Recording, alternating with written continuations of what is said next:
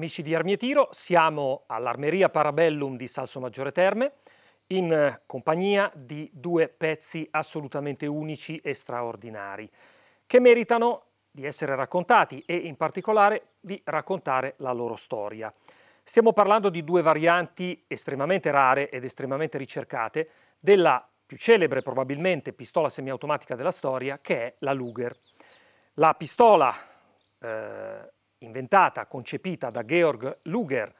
modificando, ottimizzando quello che era il progetto di Hugo Borchardt di pochi anni prima, ha avuto anche una declinazione in versione carabina. Questa versione carabina, che fu concepita squisitamente per l'attività venatoria più che per compiti, diciamo, tattici eh, o militari, è caratterizzata da una eleganza straordinaria, come soltanto le armi di lusso degli inizi del Novecento sono capaci di regalare e si caratterizza per alcune caratteristiche eccezionali. La prima delle quali è, come si può notare, la lunghezza della canna, che è pari a 300 mm,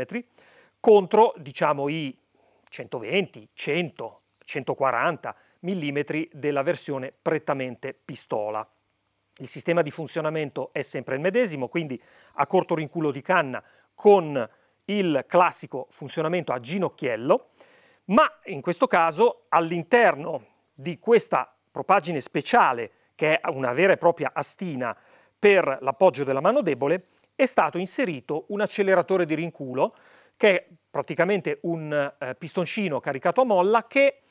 eh, spinge contro un'apposita propagine eh, solidale alla canna per agevolare il ritorno in batteria del complesso quando l'arma va in chiusura. Questo perché ovviamente il peso del complesso canna culatta è maggiore rispetto a quello della pistola. Oltre a questo accorgimento, per eh, la Luger carabina fu concepita una speciale munizione sia per il 9x19 sia per il 7,65 para con carica maggiorata.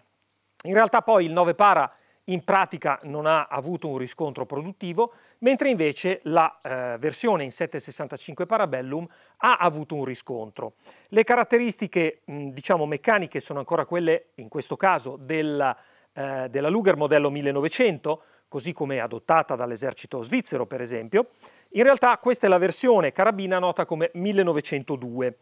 che eh, ha avuto diciamo tutto sommato un riscontro di vendite abbastanza limitato all'epoca è rimasta in produzione diciamo fino al 1906-7 con ultimi esemplari assemblati fino alla vigilia della prima guerra mondiale.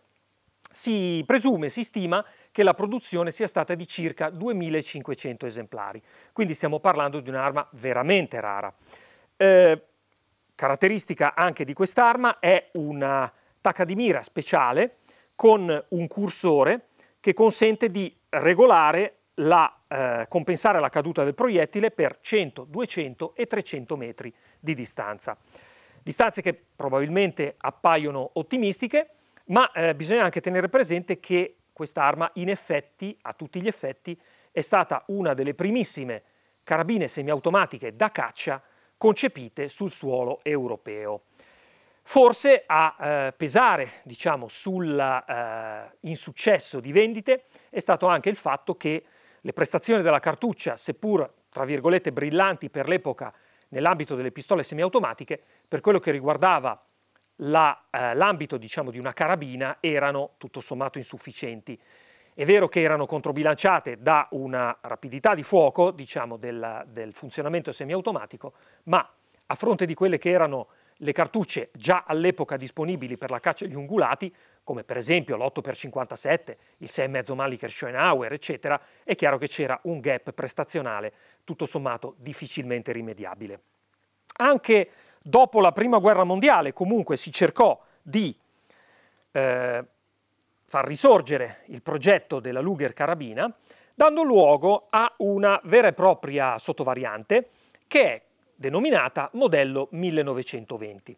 È vero che le condizioni del Trattato di Versailles, per quello che riguardava le condizioni di pace della Germania, sconfitta nella Prima Guerra Mondiale, erano molto rigorose per quello che riguardava le caratteristiche che potessero avere le armi per l'esercito e le forze di polizia nazionali, ma c'era comunque la possibilità di evadere entro certi limiti a queste limitazioni per quello che riguardava l'export. Molte di queste armi in effetti sono state proposte sul mercato internazionale anche nordamericano. La differenza sostanziale della eh, cosiddetta versione 1920 è che innanzitutto ha il ginocchiello già quello tipico diciamo, delle versioni dalla 1906 Luger in avanti, quindi senza le sciancrature laterali sulle orecchie, bensì con le orecchie perfettamente piatte e zigrinate anche sui lati. Eh, è caratteristica di questa versione una certa variabilità negli allestimenti, nel senso che per realizzare questi esemplari, che sono tutto sommato ancora minori rispetto a quelle della versione 1902, si parla circa di, c'è chi dice di 500, c'è chi dice 1000 esemplari, non si sa esattamente quanti siano, Comunque furono utilizzati anche eh, giacenze di magazzino delle Luger navali modello 1904, ma anche delle Luger artiglieria. In questo caso, per esempio, la canna è sempre lunga 300 mm, come nella versione 1902, sempre di tipo bull barrel, ma l'alzo è quello tipico a tangente della Luger artiglieria completato e impreziosito in questo caso da un'ulteriore variante custom che è quella di una diottra regolabile in elevazione che può essere utilizzata in alternativa all'alzo e che quando non in uso può essere distesa o addirittura rovesciata in modo da non creare interferenza.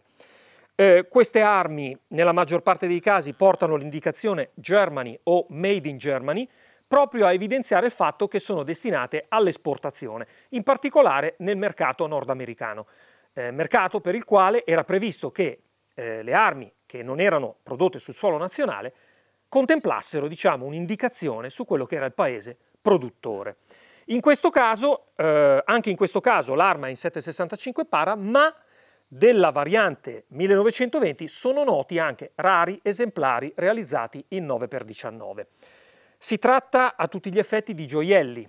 eh, sia per quello che riguarda la qualità costruttiva che è semplicemente superlativa, sia per il fatto che queste armi hanno caratteristiche completamente diverse da quelle che sono le pistole, appunto a partire dalla stina per l'appoggio della mano debole che è tipica di una carabina.